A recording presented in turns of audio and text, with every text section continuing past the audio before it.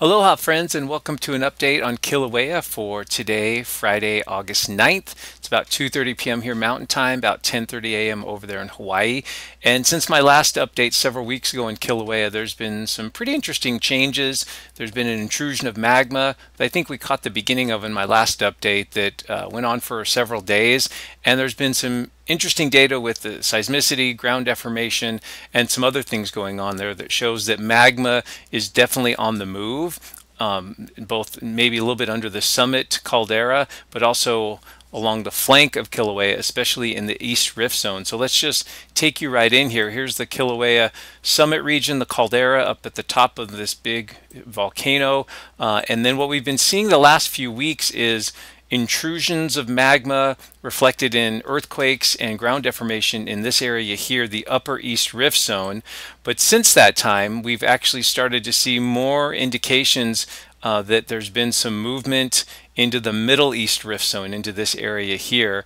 Now let me reiterate that we don't have any evidence that the any magma has moved from the Middle East Rift Zone even as far as Pu'uo'o, this major vent um, that for Kilauea in the 80s, 90s, and early 2000s, and definitely not uh, any magma movement down here in the lower East Rift Zone where we have people's homes and residences and where we had all the, the chaos in the 2018 eruption. So there's no evidence that it's moved down to that point, um, but there is some evidence that suggests that magma might be moving a little bit down this way. But let me explain a little bit further as we get along. So we had uh, this intrusion on the 22nd to 25th of July in this area up in here in the Upper East Rift Zone, just adjacent to the summit caldera.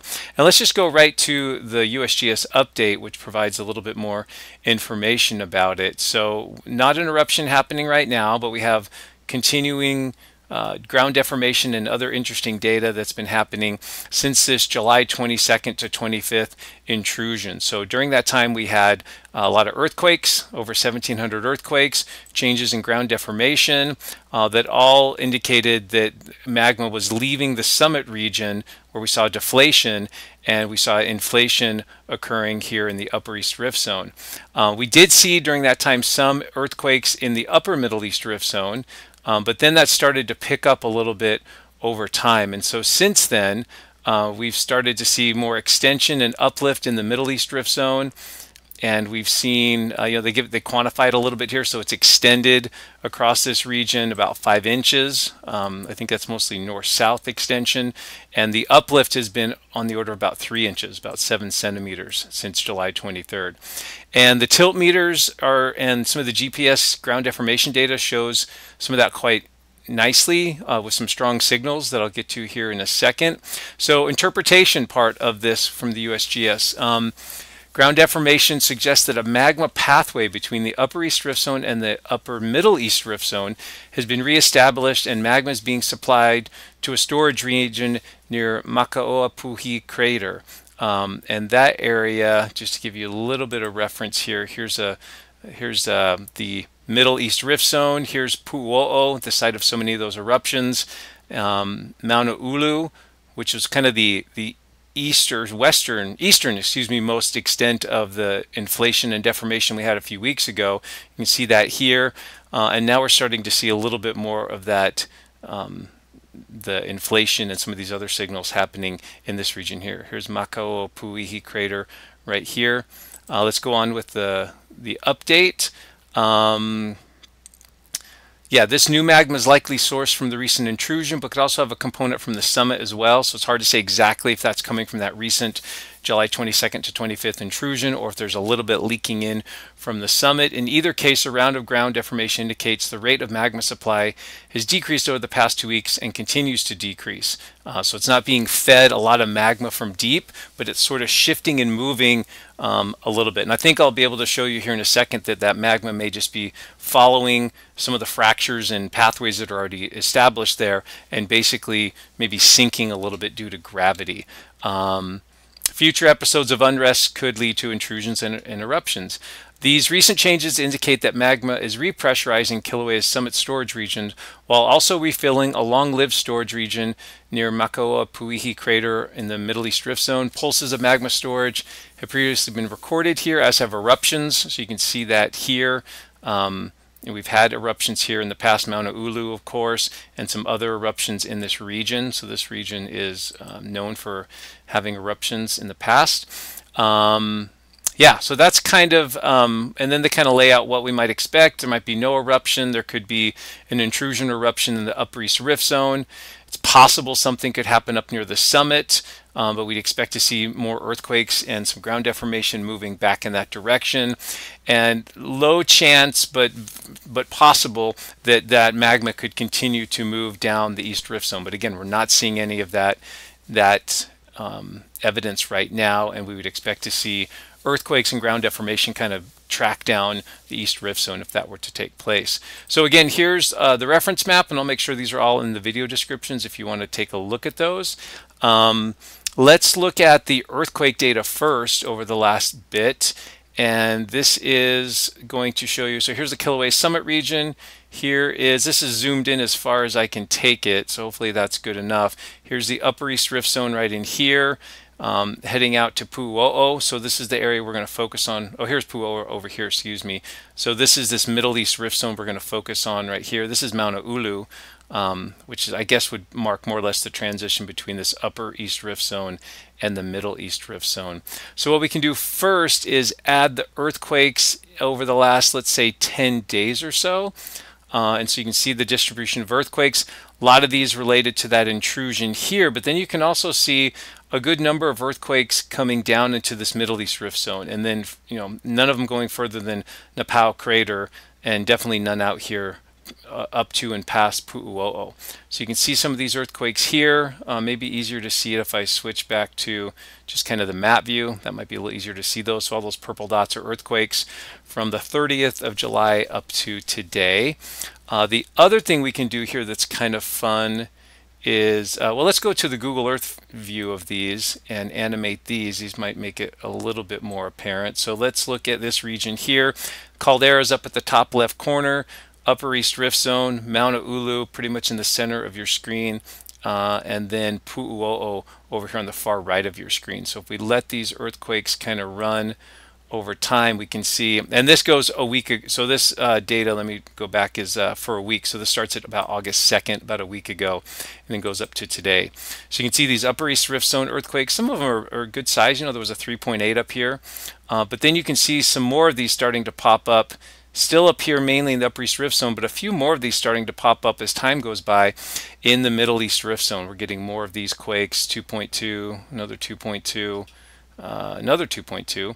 Um, so nothing huge, nothing large, but more activity in this part of the East Rift Zone than what we had seen previously. So let me show you that again or in a different way with this. So we'll go ahead and animate those earthquakes. Uh, and this one's going to go back to the July 30th, so we might see a few more here. So Upper East Rift Zone, but a few in the Middle East Rift Zone. Intrusion happening, or this is post-intrusion, I guess, but some of that settling and earthquake activity here and then again more of these earthquakes coming in to the Middle East rift zone uh, and then let's see and then the animation is done right there so there's the diversity of earthquakes here's what I think is interesting though is if we go to the 3d view and actually look at where these earthquakes are happening so looking sort of uh, below the ground so here is um, the upper East Rift Zone earthquakes here. And you can see they're mainly, if we get this, let me see if I can get this oriented just right here for you. There we go. Um, right about like that. You can see they're mostly close to the surface, um, maybe defining a little bit of the dike that was that formed there. But notice as we go from this upper east rift zone to the east into the middle east rift zone, notice the quakes get deeper and they're almost like they're just moving down uh, a ramp in general, right? There's some going up and down. They're, they're at all, you know, several different levels. But in general, we can see these, this is a deeper batch of earthquakes than we saw up here. And so what might be happening, and, and one interpretation that's out there um, and that I think makes sense to me, is that this magma was injected from the summit region into the upper east rift zone in on July 22nd to 25th. And then since that time, some of that magma has maybe migrated down through uh, pathway system in the uh, in the rift zone into this region here. Uh, we're not seeing a lot of earthquakes here though, because if we if we were bringing in fresh magma uh, pressurized magma, if you will, that would be breaking a lot of rocks, and we should see a lot more earthquakes here. Instead, we just see a few. So it might the low seismicity here. Um, and when we combine this with the ground deformation, the uplift that we've been seeing here suggests maybe th this magma is just kind of settling in to this region here, kind of just just sliding down due to gravity, and, and, and rather than being, you know, more magma being pushed into the system, at least at this time. Um, Here's some of the tilt over the past month. So this shows the past month or so's data, uh, inflation going on, and then you can see that drop there uh, away from the summit. Excuse me, this is the summit area here. So inflation at the summit, but then as the magma left the summit region and moved into the upper east rift zone, you can see it drop here. And then since that time, it's been moving back up. So if there is more magma coming into the system, it seems to be happening closer to the summit. Uh, and then from there, it finds pathways into the Upper East Rift Zone. Uh, this I've shown before, but just to kind of give you a quick uh, review of where those earthquakes were from the 22nd to 25th, kind of in this region here, uh, from Mauna Ulu uh, up towards the caldera. This was the region in the Upper East Rift Zone where we saw the earthquakes. That's what the little circles are. And then the fun little rainbow colors here. There's the, the central point of uplift there. And that's probably better shown. Oh, real quick, I, there was also some cracks in the chain of craters road after those in, that, that intrusion. So that intrusion and that ground deformation was actually manifested as something visible and observable um, at the surface. So USGS employees were able to actually see um, along the chain of Craters Road. Let's see, they don't say like how much it might have moved or anything, but they were actually able to uh, observe and probably made measurements of some of these cracks in the road there that I'm sure they're monitoring along with all the other data. Uh, here is what things looked like back on the end of July. So this was in my last update. So there's the area um, near Mauna Ulu where the uplift was occurring. There's Mauna Ulu right there. But now when we look at the INSAR data of ground deformation for August 7th, here's Mauna Ulu. Here's where we had the inflation occurring now. Notice it's shifted further to the east. So now it's uh, just west of Pu'uo'o in this region here. So we've seen the, the location or the locus of inflation changing from the lower part of the e upper east rift zone into the Middle East Rift Zone right here. So um, more data there that suggests that that's kind of tracking in that direction there. Uh, and then finally, looking at some of the other ground deformation data, if we go to uh, a tilt meter, let's go over here to, this is Pu'uo'o, and we look at a tilt meter, which basically, think of it like a carpenter's level, but it's so um, sensitive it can measure very small changes in tilt. Uh, not not at the degree level, even smaller than that, like at the radian level. So notice here, the green line is probably the best one to look at here. Things are pretty stable in July, uh, but then over the last couple days, as some of that magma maybe has moved down into the Middle East Rift Zone, closer to Pu'uo'o, um, but not quite there, we've seen a little kick here, a little bit of uplift in the tilt meter. Again, not much movement on that tilt meter, and then just over the last day or two, a little bit more significant component there. Um, again, we don't. I don't think it's magma necessarily being injected underneath that Middle East rift zone. I think it's actually moving down from that intrusion that was um, in the Upper East rift zone. And then finally, uh, what was I going to do here? Oh, show you some of the GPS data. So if we go to, here's again Mauna Ulu, Pu'uo'o over here.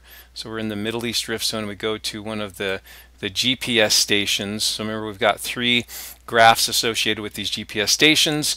Top one here, the way the USGS organizes them, this shows east-west movement. So if it moves up, it's moving to the east, down is to the west.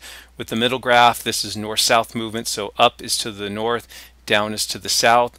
And then the last graph shows vertical movement up or down. And notice here, we'll just start with this one, as we come into uh, the last few weeks here in July and August, just a dramatic kick, dramatic kick. There was a uh, steady deflation going on out here in the the Middle East Rift Zone, and then that's suddenly spiked upwards a bit over the last week or two. Uh, you see that also with the other components of motion as well. A little bit of a kick to the east, and a kick to the south along with this uplift. And you can see that at other stations too. If you pick, um, you know, here's a different station, Miramano Ulu. Um, you see a similar sort of trend here, although here's a little bit of a down drop, which is interesting, um, but some a different type of movement in the data. Um, if we move further down the rift zone, yeah, here's a similar thing here. Um, uplift, movement to the uh, north in this case, and then movement to the west in that case, depending on which side of like the rift you're on. So uh, pretty interesting stuff. So Kilauea is always one that we kind of keep tabs on and keep track of. It'll be interesting to see over the next week or two where the earthquakes and ground deformation data goes. Does it stay here um, at the same rate it's it's been deforming in terms of ground deformation? Do we pick up more earthquakes? Um, is there more magma that's going to move from the summit area down into the upper east rift zone and possibly middle east rift zone these are all good questions that we'll have to look at moving forward. So uh, we'll keep tabs on these and just keep you informed as best we can. So thanks again for your time and support of the channel and hope you enjoyed this. Take care